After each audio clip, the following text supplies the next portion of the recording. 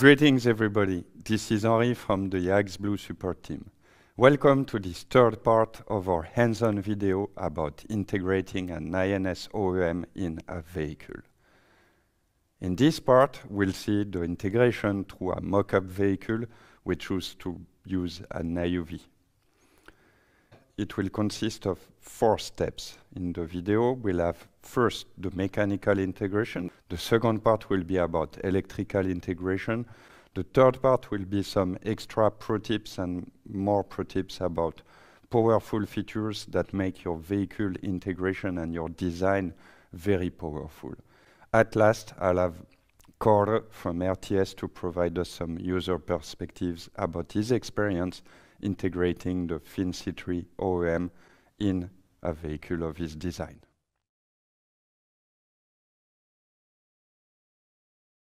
So for the mechanical integration in my vehicle, uh, I have plenty of choice uh, of, um, of design.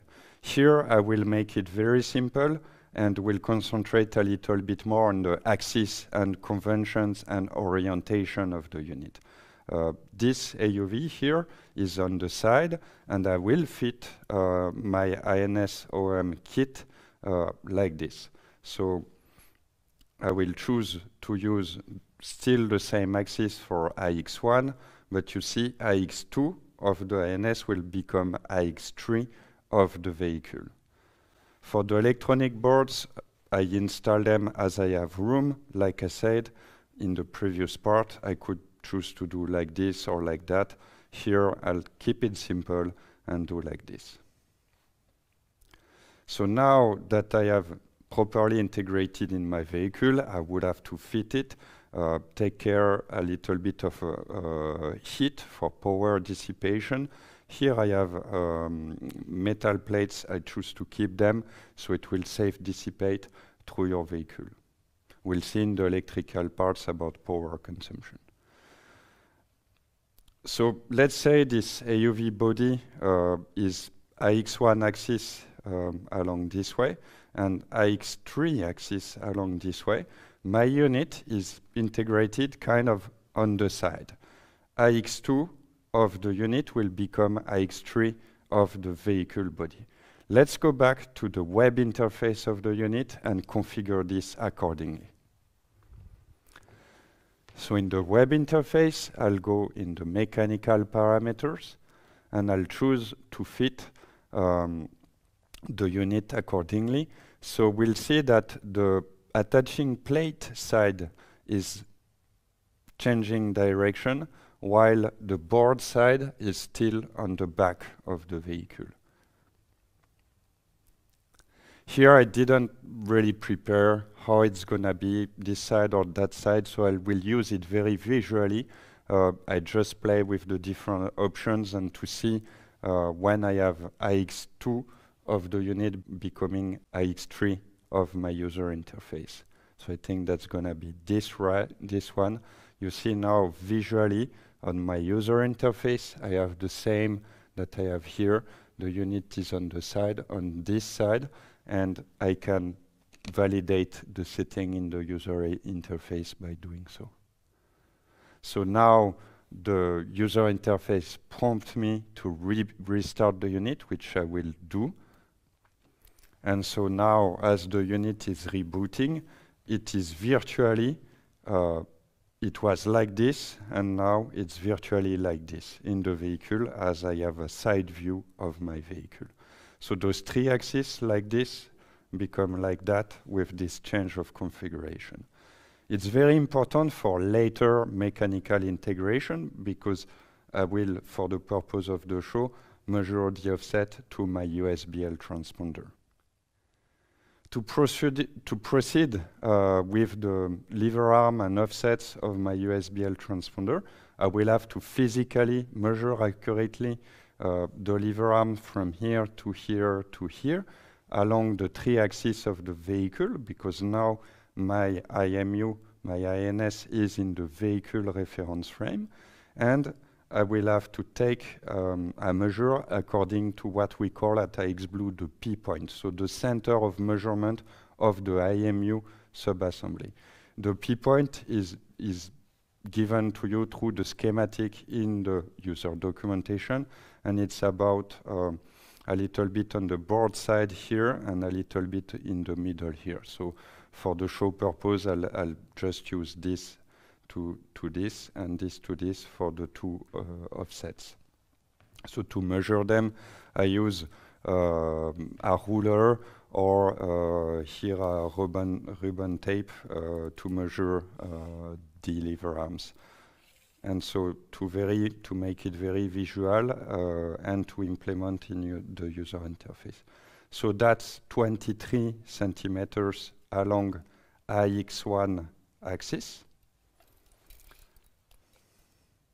And around the middle here, that's 6 centimeter along AX3 axis. So now I will set them up inside the user interface for my USBL sensor lever arm. So I go to the input menu. I choose the USBL I previously configured. And if I scroll down uh, the configuration, I will be access the lever arm. So now I can set up a 23 centimeter um, as an offset. So you see it's 23 centimeter forward of the IMU, so it's it's about right. 23 centimeter forward of the IMU. AXV2, let's pretend it's it stays at a zero value. We, we choose to work it in 2D to make the case study more um, understandable.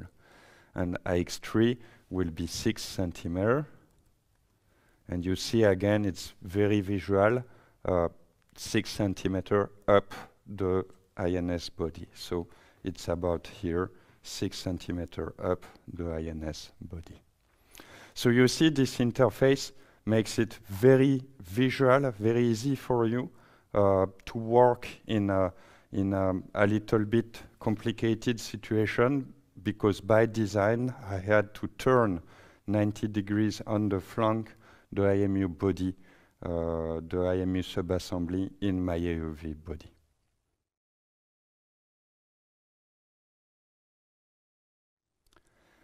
About electrical integration, it will be about uh, a bunch of things. First, about power. So now we should not anymore use our lab power supply. We should use the, the power lines from the AUV body. And it's important to remind that uh, the power supply will be uh, grounds will be independent from the serial input-output grounds.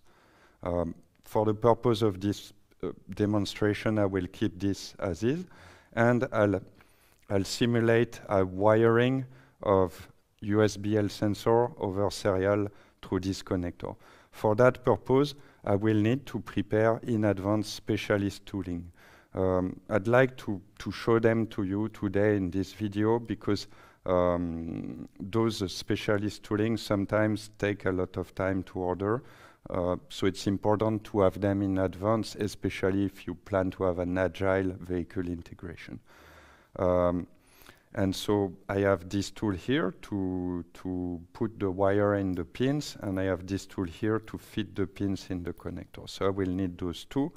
I will need this connector which is provided uh, in the scope of delivery and I will need uh, a little bit of wire uh, to wire my fake USBL uh, sensor and uh, a little bit of pins to wire the pins.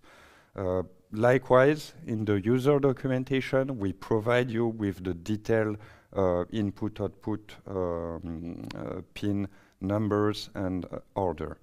Um, you can see here a small notch on this connector, so it will give you a very visual uh, uh, knowledge of where is pin 1 and, and, and pin 2 and so on.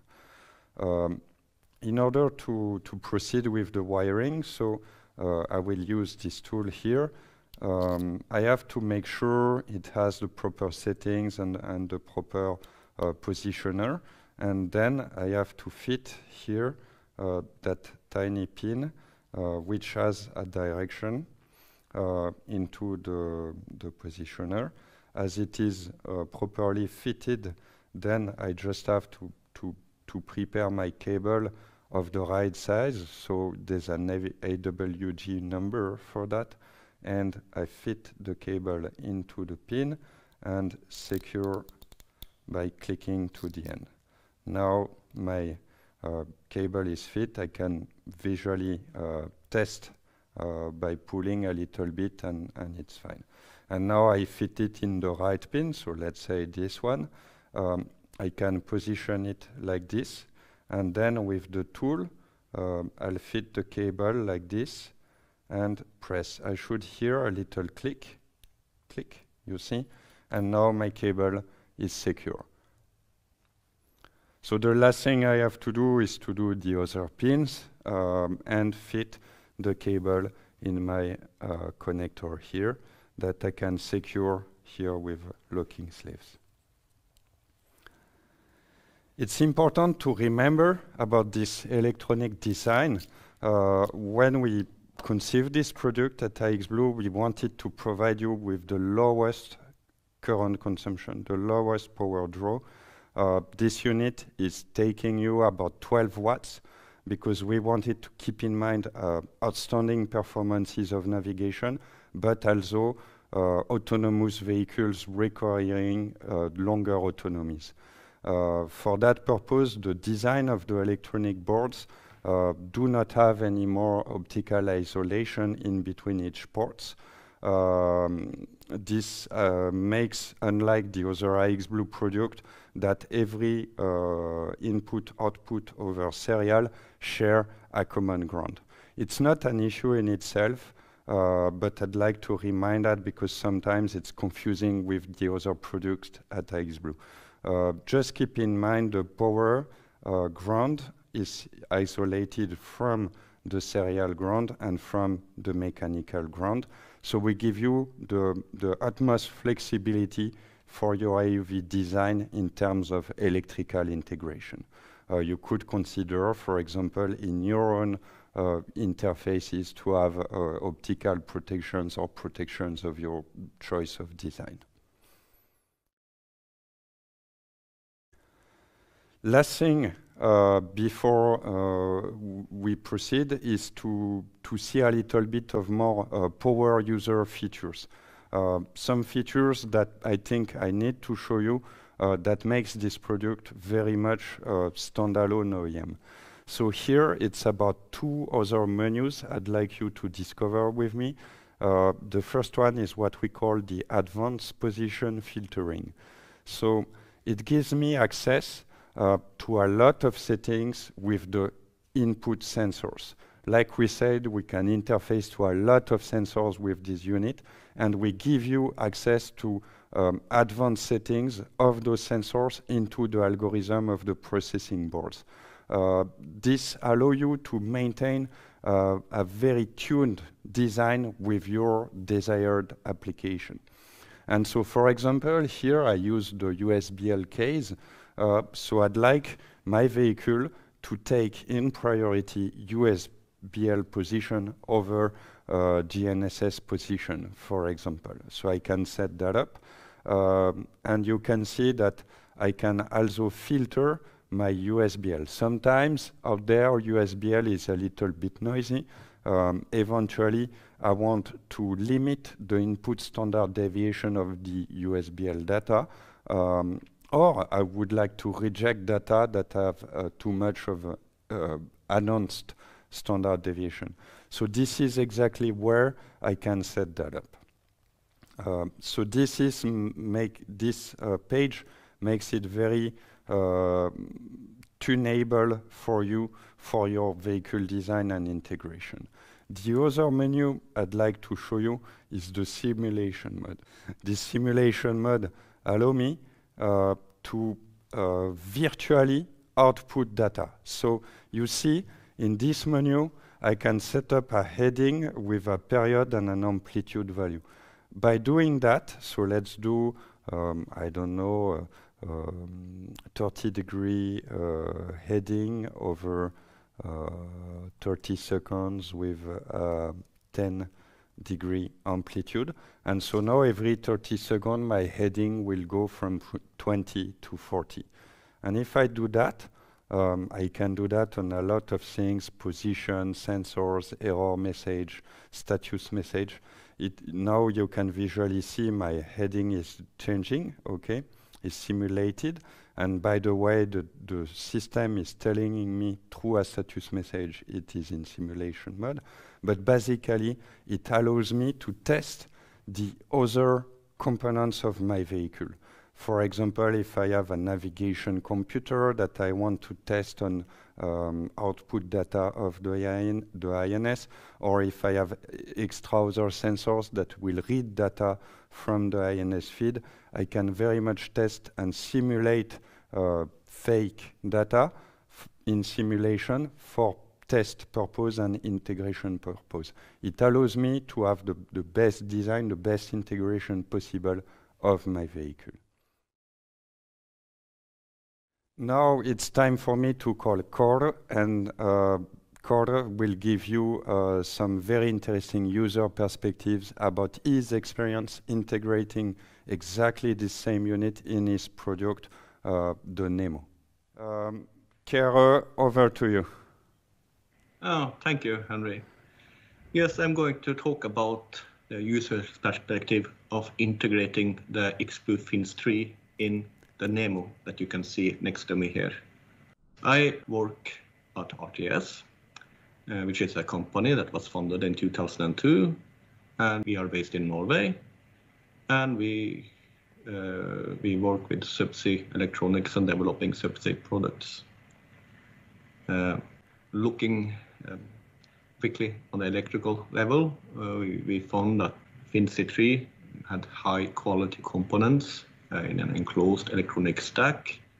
Uh, the connectors were very robust, uh, and that's a very good thing. and it was also easy to connect to it compared to many other OEM solutions. Uh, but we saw there was some issues with the documentation uh, that the Aristotle Topos uh, was not isolated.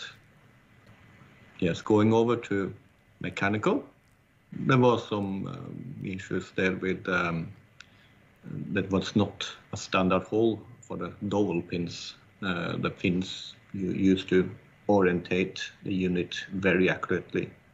But also was um, laser cut the holes for the dowel pins, and that means that it's a tiny bit of metallic inside the holes, and that's so we had to remove that to accurately fit the unit.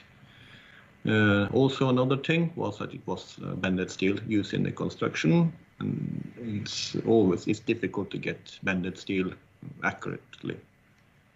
Uh, in terms of performance, it was uh, yeah beyond uh, our expectations. It was much much better. Uh, but uh, we also see that the specification of the unit uh, it's it's made uh, for a wide range of aiding sensors from different manufacturers.